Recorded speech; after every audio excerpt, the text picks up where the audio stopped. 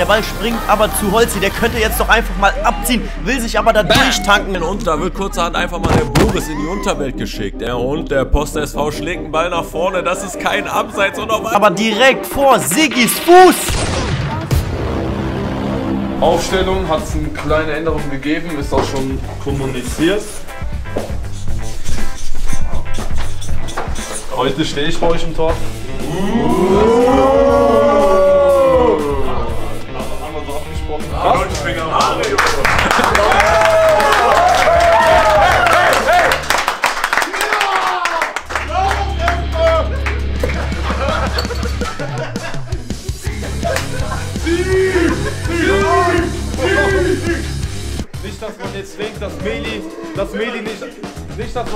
Meli jetzt nicht eingeweiht wurde. Piero kommt zur zweiten Hälfte. Ray, das äh, Krankenhaus darf heute im Stoff. Ich heute wieder auf der linken Verteidigerposition. Was hast du dazu gesagt, Süle? Endlich zu null. Endlich jemand passt. Er meinte, links ist dicht. Aber das liegt daran, weil ich immer noch dicht bin von Freitag. Aber mach dir keinen Stress. Ich werde heute einfach nicht laufen und einfach zu Hause, äh, zu Hause sag ich schon. Ich werde heute zu Hause in der Verteidigung sein. Ach, du bist so nur. Ich habe dem gerade gesagt, ich werde auf gar keinen Fall trinken. Ich lach ihn aus, weil er Stutzen vergessen hat. Ich stimme von Jäger. Ich guck in meine Tasche, habe ich auch Stutzen vergessen. Zum Glück ist Lukas hier. Der hat schöne Stutzen. Also, das Ding ist, jetzt sind die halt schön, Bruder. Bruder, danke, danke. Bruder, dieses traurige Gesicht, Bruder. Seine Bruder, das waren seine Lieblingsstutzen. Bruder, jetzt, jetzt so, Alter. Mit hier ein bisschen free. Scheiße. Geht alles schief. Ich weiß nicht, woran es liegt. So ist das in der Kreisliga.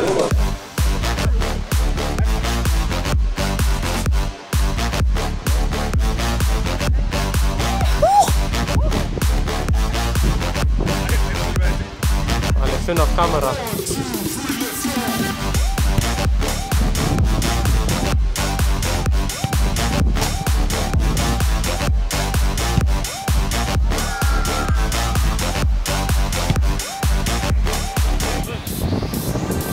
Du weißt, dass du in der Kreisliga bist, wenn es nicht mal eine Münze gibt und hier geschnickt wird.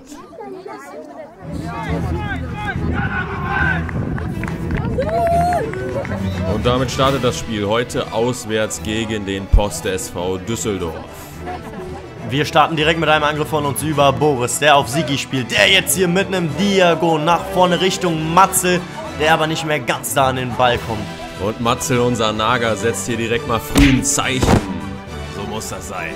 Holzi treibt den Ball nach vorne und spielt jetzt hier links raus auf Sigi. Der packt den Elastico aus.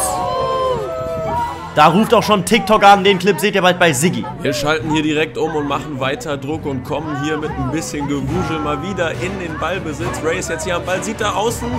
Wen sieht er denn eigentlich da außen? Hier sehen Sie die Klasse unseres Mario Brattes mit einem wunderschönen Ball da in den Lauf von Sigi. Aber leider kommt der Torwart früh genug raus. Und Uwe versucht jetzt hier mit dem nächsten hohen Ball in Richtung Kanonenkugel Ray. Der nimmt den Ball hier erstmal an, kleine Täuschung und überlässt jetzt mir hier die Pille. Ich mache erstmal die Meter, gehe mit dem Ball spazieren und da startet auf einmal der Matzel. Der ist jetzt 1 gegen 1 vom Torwart durch, aber der Torwart hält ihn. Ich heute als linker Verteidiger unterwegs, krieg auch mal den Ball und mach hier ein paar Meter und spiel jetzt dem Holzi in den Lauf, der da ganz viel Platz hat. Holzi versucht es jetzt hier mit dem Seitenwechsel, aber keiner kommt mehr an den Ball. Matze beschwert sich natürlich, dafür ist er bekannt. Matzel sieht jetzt vorne da den Sigi starten, spielt einen schönen Ball hier in den Lauf und Sigi probiert es einfach mal mit links und der war ganz schön knapp.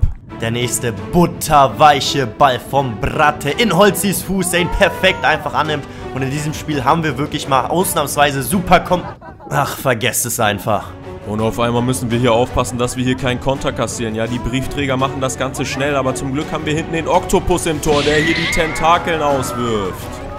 Die nachfolgende Ecke wird hier scharf in den 16er getreten, aber Mario fischt den Ball da aus der Luft. Und da kommt der nächste pornöse Ball nach vorne.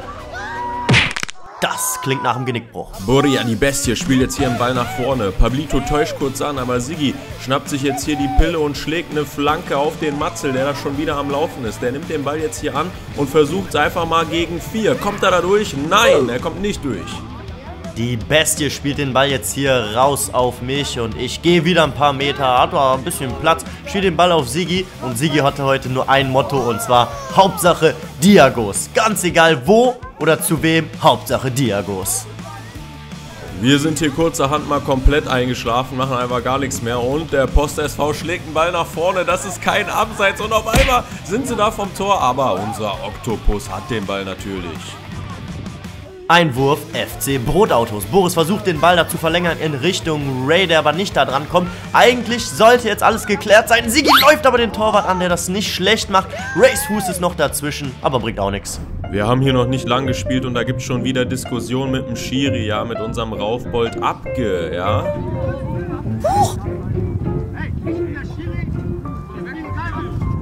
Es gibt einfach kein Spiel bei uns ohne bisschen Rangelei. So, nach dem Raufen ging es dann auch weiter. Abginio spielt jetzt hier einen Pass auf mich. Und äh, ja, ich mache hier erstmal ein paar Drehungen einfach im Mittelfeld. Da greift mich auch eh keiner an. Versucht es mit einem Ball in die Spitze, aber da kommt noch ein Verteidiger dazwischen.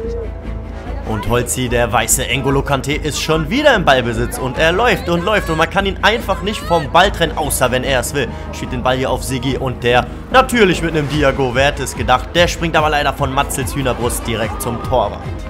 Der Lost SV versucht jetzt hier einen Angriff aufzubauen, aber wir machen gemeinsam hier schon frühzeitig Druck im Mittelfeld, sodass hier Boria auf jeden Fall an den Ball kommt und der schnappt sich die Pille und geht erstmal komplett ab. Boria die Maschine jetzt gegen 1, gegen 2. Ja, da ist der Ball halb weg, aber dann nimmt er sich ihn einfach wieder und schießt einfach mal, aber in den Rücken vom Gegner. Pablito fand, es gab noch zu wenig lange Bälle und deswegen macht er auch nochmal einen und Ray klärt den hier perfekt, bevor Siggi abschließen kann. Heute wird hier wieder gezaubert. Der Matze lässt erstmal einen aussteigen, dann ein paar Übersteiger wie Rivaldo und den Pass auf Boria. Der passt direkt weiter zu Pablito. Der guckt erstmal, was geht da vorne ab und schlägt einen weiten Ball, aber da kommt leider keiner dran feine Kost SV jetzt, aber auch mal wieder mit einem Angriff. Man sollte den Gegner natürlich nie unterschätzen und Boris entscheidet sich dazu, mal wieder einen Gegner in die Unterwelt zu schicken, auch wenn er eigentlich nichts gemacht hat. Abwurf Mario Bratte hier auf mich. Ich versuche den Ball hier unter Kontrolle zu bringen. Da kommt schon der Gegner in mich reingesprintet und schlägt sich selber hin. Immer noch eine heikle Situation, die wir aber dann klären können. Wir sind im Spielaufbau und ich wollte mal wem anders spielen, außer dem Sigi, weil der hätte doch eh wieder nur einen Diago geschlagen. Deswegen wusel ich mich jetzt da durch, spiele den Ball auf Holzi. Der gibt mir den Ball zurück. Ja, das hier, meine Freunde, ist einfach diese Brotatus Connection. Ja, wir sind immer noch im Ballbesitz. Boris spielt den Ball hier raus auf Sigi und der jetzt mit dem 18. Seitenwechsel, der schon wieder nicht funktioniert. Trotzdem bleiben wir im Ballbesitz. Der Ball springt wieder zu Matzel, der den nächsten Gegner nass macht mit Zug zum Tor jetzt hier. Aber wieder im Abschluss scheitert. Jetzt mal eine Ecke hier von Sigi, die kommt hoch rein. Erstmal der Verteidiger von der Post dran. Der Ball springt hier nochmal ein bisschen rum und Boris Fullrisiko. Der kann mal reinspringen. Und was haben wir denn hier? Einen Diago von Sigi Richtung Matzel. Der Gegner spielt jetzt mit dem Handball. Siggi zündet jetzt mal den Turbo auf der rechten Seite. Ja, wird er noch fast von den Beinen geholt, aber rennt da immer noch die Linie runter. Spielt den Ball jetzt rein. Der Gegner verpasst den Ball. Der Ball springt zu Ray und er zieht mit einem 300 km/h Schuss ab. Keine Ahnung, wie der Torwart den halten konnte. Dazu sage ich jetzt einfach mal nichts. Ihr wisst ganz genau, was kommt.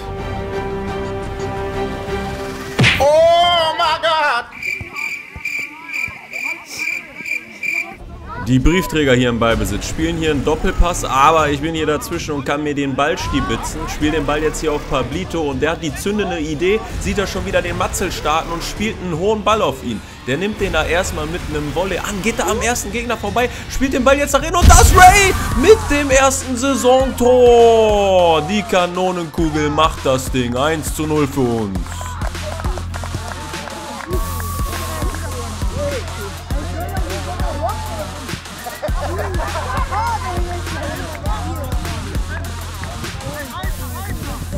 Nach dem 1-0 haben wir uns natürlich nicht ausgeruht. Direkt hier weitergemacht, kommen hier wieder direkt dazwischen, können den Pass unterbinden. Spielen den Ball jetzt hier auf Pablito und der sieht direkt Boris vorne. Wir machen es wie real und nutzen den Anstoß. Back und das ist das 2 zu 0 direkt nach dem Anstoß der Gegner. So muss das sein.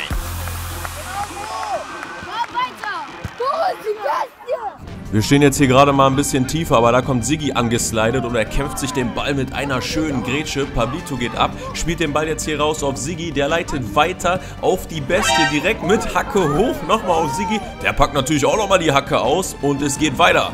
Flanke wird zunächst geklärt vom gelben Mann. Der Ball springt aber zu Holzi. Der könnte jetzt doch einfach mal abziehen, will sich aber da durchtanken und wird gefällt wie ein Baum. Siggi wird den Freistoß jetzt hier bringen, zirkelt ihn über die Mauer an die Latte. Die Pille ist noch heiß. Ich hau das Ding jetzt hier in den Kasten. Aber das Tor zählt nicht.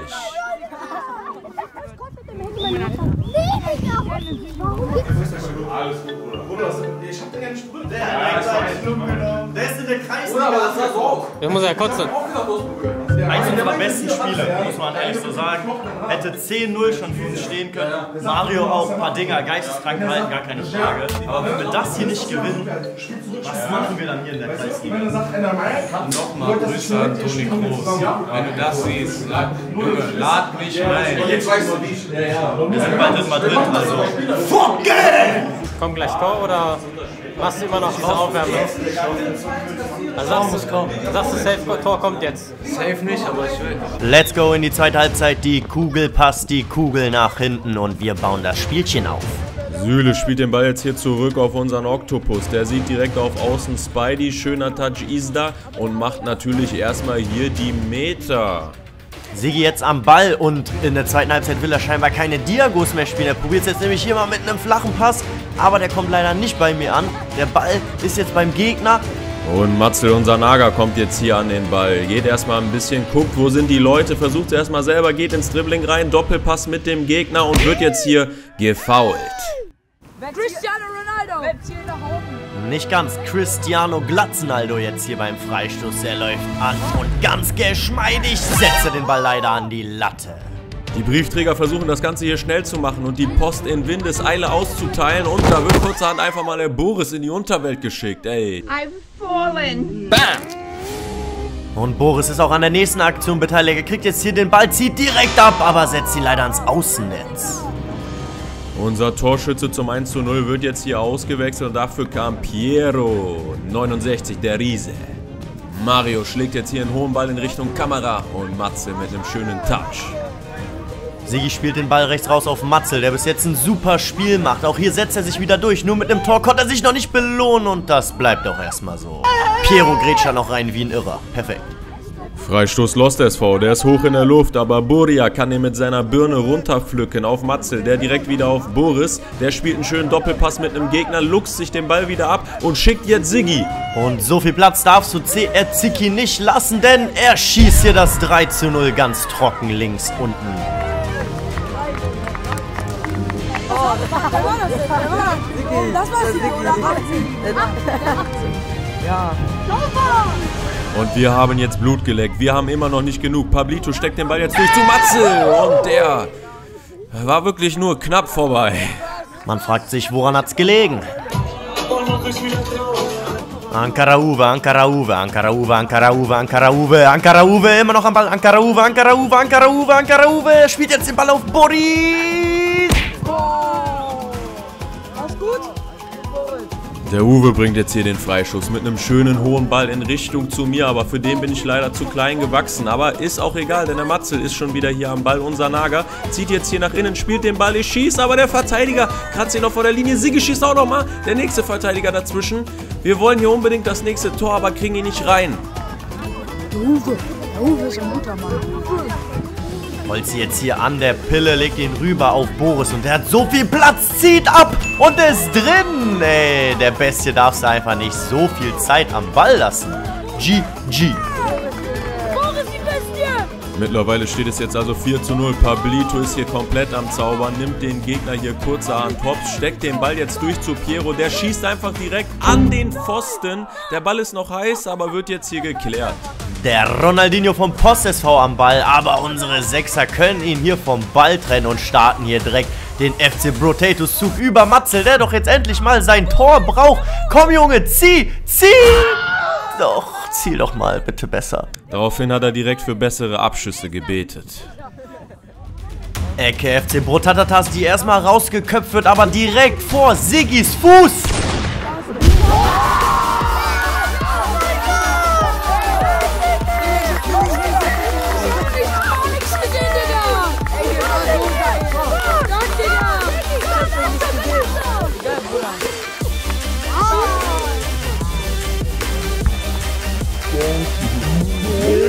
Frag mich warum, aber der Meli ist hier auf Außen am Tanzen. Das Spiel läuft die ganze Zeit weiter. Wir sehen jetzt hier leider nicht so viel. Pablito ist am Ball.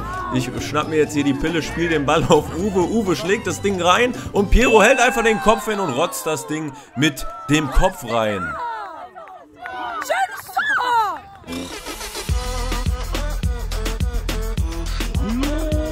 Wir haben natürlich immer noch nicht genug. Ich weiß gar nicht, wie viel steht. Holzi jetzt mit dem Ball auf Matzel, der doch jetzt mal endlich sein Tor braucht. Verstolpert hier aber den Ball. Und jetzt Nummer 14 muss den natürlich mit einem Fallrückzieher klären. Und ab einem Stand von 6 zu 0, da darf man dann auch mal die Melone einwechseln, denn der wollte auch noch mal ein Törchen. Matzel vergisst hier ganz kurz, in welche Richtung wir eigentlich spielen und gibt so Post-SV nochmal die Chance.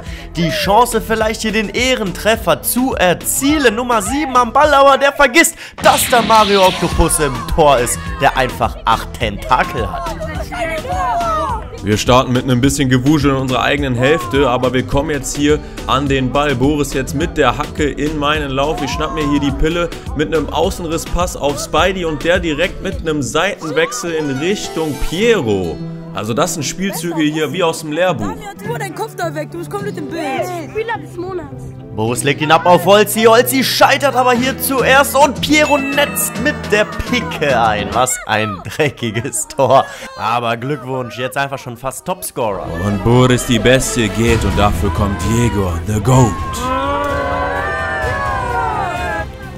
Abginio de Nutrino jetzt hier am Ball und der überspielt einfach mal das gesamte Mittelfeld hier auf der auch ein super Pass spielt. Piero legt mir den Ball auf mein Brüstchen, aber ich brauche einfach zu lange im Abschluss. Wir befinden uns mittlerweile in der Nachspielzeit. Letzter Eckball von Siggi, der tropft erstmal durch, aber Matzel setzt hier gut nach, nimmt nochmal den Uwe mit, der spielt das Ding nochmal scharf rein, der Torwart lässt das Ganze abprallen. Zwei, versucht aber verzieht das Ding. Spidey!